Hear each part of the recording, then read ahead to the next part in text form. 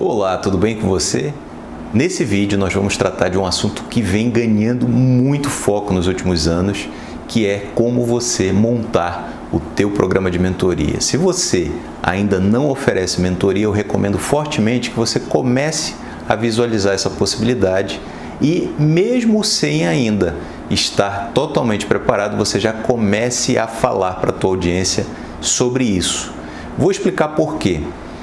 Mas antes de prosseguir nesse vídeo, é muito importante que você clique aqui embaixo no botão inscrever-se. Vai aparecer do lado um sininho e você vai marcar todos. Isso vai permitir com que você se atualize e veja todos os vídeos que nós vamos publicar, você seja notificado. Então, vamos continuar no assunto.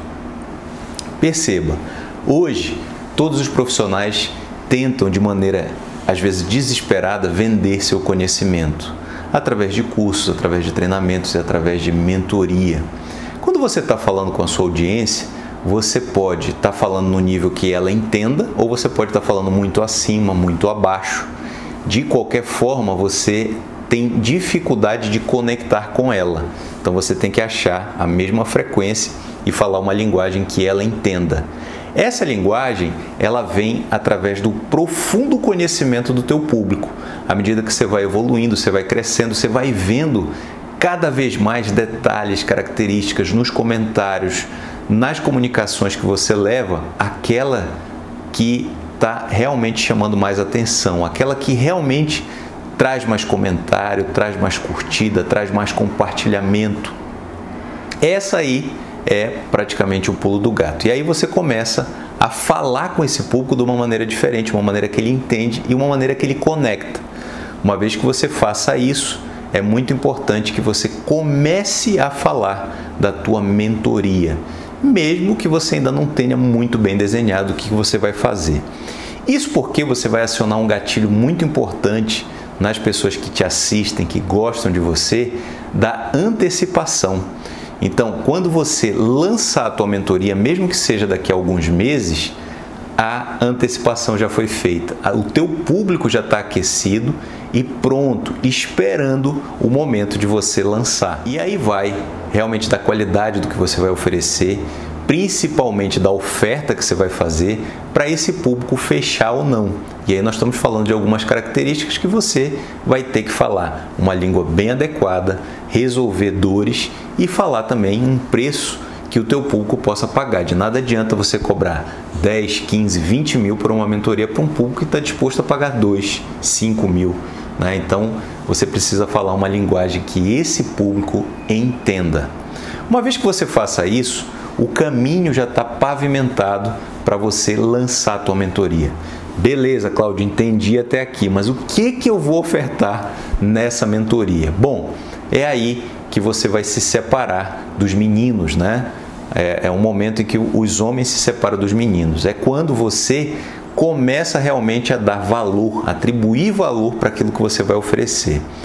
Às vezes, você tem grande experiência, mas não tem um método, não tem um formato. Eu já investi em mentorias de caras que são muito bons, com bastante experiência, mas não tinham um formato adequado de mentoria e isso acaba ó, reduzindo a entrega e fazendo com que você não tenha uma vis, um vislumbre muito grande do que está à frente. Isso prejudica, inclusive, o profissional.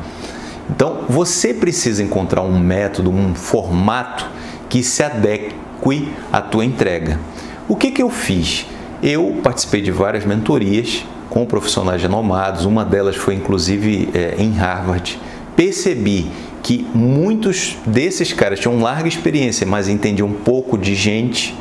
Comecei a aplicar o conhecimento que eu havia adquirido em treinamentos de desenvolvimento pessoal, em terapias e também dentro do Empretec e criei um método que eu vendo de baixo do guarda-chuva da Global Mentoring Group. Esse método ele tem vários formatos, tá? Você pode fazer ele online, você pode fazer ele presencial.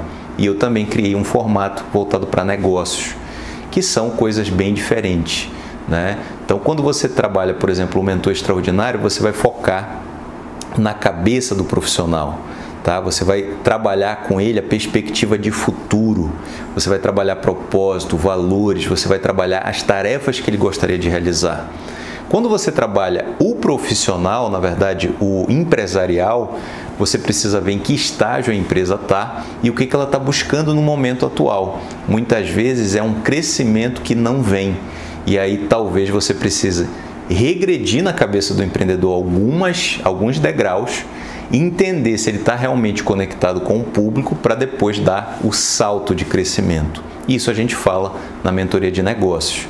E também temos uma imersão presencial que trabalha com o mentor a autoridade dele, principalmente porque o conteúdo, né, muita, muito do conteúdo que é visto no presencial, você já tem no online. A diferença é grande porque a gente tem aí o contato pessoal, né, e isso abre muitas é, portas, né, é, é, tira muitas dúvidas porque você está ali frente a frente comigo e vai poder esclarecer todas as suas dúvidas. Isso realmente tem um preço e as pessoas pagam por isso para ter esse momento presencial e ter um momento fora do Brasil.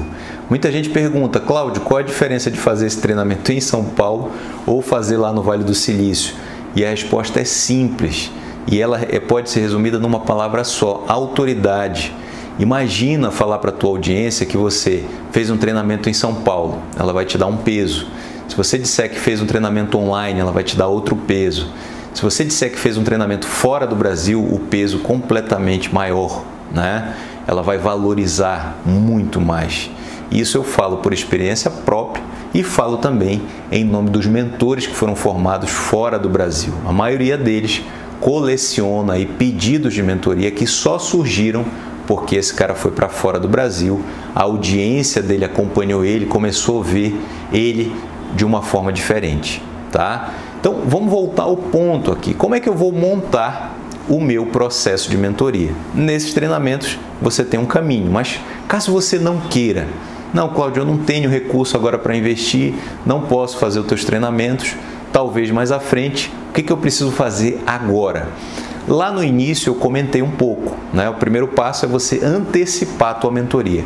O segundo passo é identificar exatamente o que você faz que pode somar, que pode agregar na vida desse profissional que você vai mentorar, tá?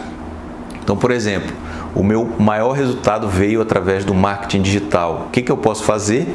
Ajudar esse cara, né, o meu mentir, através do marketing digital. Eu também entendo bastante de estratégia, então eu posso ajudar ele a trilhar uma estratégia que vai dar mais resultado para ele.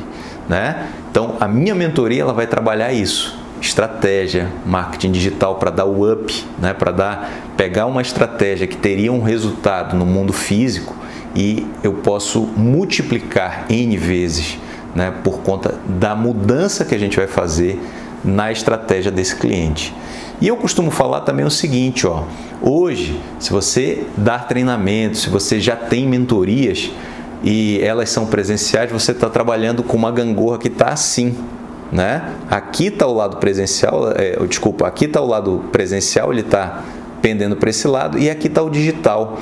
Nos dois lados tem dinheiro, então o que, que você precisa fazer? Você precisa igualar esse peso.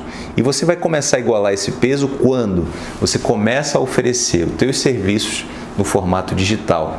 Pode ser um curso gravado, pode ser um grupo que você vai acompanhar com reuniões frequentes, pode ser é, um formato onde você é, faça as duas coisas, né? você tenha parte gravado, parte ao vivo, onde a pessoa vai poder tirar dúvidas com você.